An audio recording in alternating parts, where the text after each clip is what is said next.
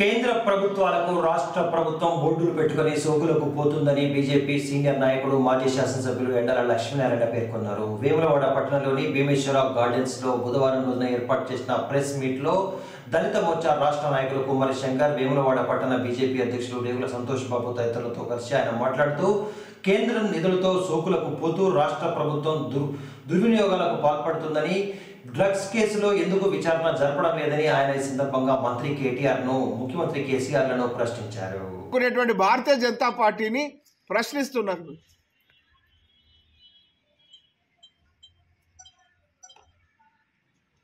జర్ర కిందికోతే గాడ మిడుమానేరు ముంపుగా తిరిగితే మళ్ళా నిన్న ఊర్లలోకి వెళ్ళి వెళ్ళనిస్తారా గదే భయం కదా ఆ ముంపు గ్రామాలోళ్ళు మరి నేరల్లోళ్ళు ఈ బాధితులు అందరు కూడా గిడ భూములు మీ మీ వాళ్ళు మీ అండతోని భూములు వేసుకున్న వాళ్ళు బాధితులు యాడ నిన్ను చుట్టుకుంటారో నిన్ను గిదానికి కూడా బయటకు పోనీయరని భయంతో నువ్వు రాకముందే వాళ్ళని అరెస్ట్ చేస్తావా నువ్వు? అరెస్ట్ చేసి నియోజకవర్గంలో తిరుగుతావా? గిదా నీ లీడర్ గిరి?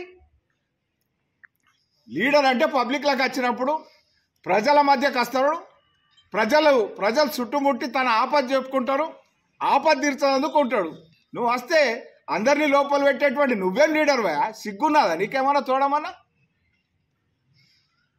బీజేపీ అభివృద్ధి గురించి మాట్లాడుతుంది ఏందయ్యాను రా పో.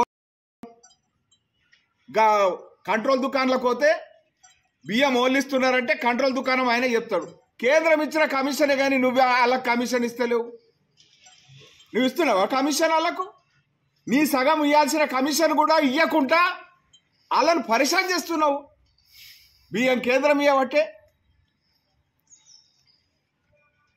మరి హాస్టళ్ళల్లో బియ్యము ఉచితంగా కేంద్రం ఇవ్వబట్టే మధ్యాహ్నం భో- మధ్యాహ్న భోజన పథకం ఉచితంగా కేంద్రం ఇవ్వబట్టే ఈ చెట్లు నాటిరని పెద్ద పెద్ద చెప్తున్నావు. పైసలు వాళ్ళు ఇచ్చిరా కేంద్రం ఇచ్చిన పైసలు కావా?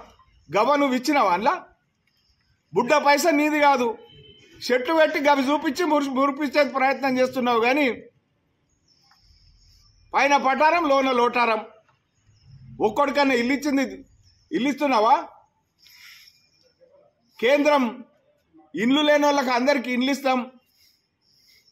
దేడు లాఖ రూపాయి ఇస్తామంటే మీ దేడు దిగుబాకోళ్ళు ఒక లిస్టు కూడా ఒక పేరు కూడా పంపిస్తలేరు.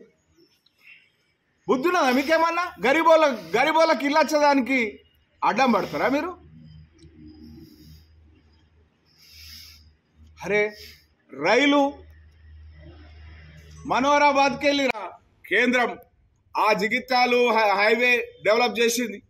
జిగిత్యాలు నిజామాబాద్ హైవే జగదల్పూర్ దాకా డెవలప్ చేసింది.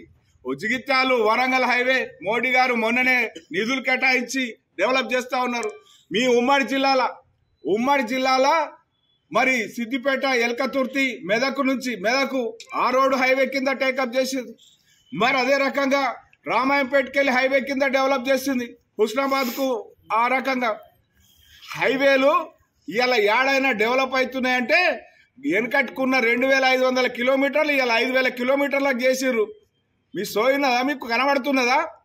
మరి అదే కాదు ఇవాళ మీ వ్యవహార మీ వ్యవహారం ఏదైతే ఉన్నదో ఇవాళ ప్రజలు ఈ ఎన్నికలలో మీ యొక్క మీకు మరి కాల్చి కర్రు కాల్చి మీకు వాత పెట్టేందుకు తయారున్నారు. నేను ఒకటి చెప్తా ఉన్నా వచ్చే ఎలక్షన్లు మీరు బయట ఉండి కొట్లాడతారా? మీ పాపాలకు లోపల ఉండి కొట్లాడతారో కూడా తెలియదు. మరి లోపల ఉండి కొట్లాడేందుకు కోర్టు పర్మిషన్ ఇస్తాయా? భవిష్యత్తు నిర్ణయిస్తుంది.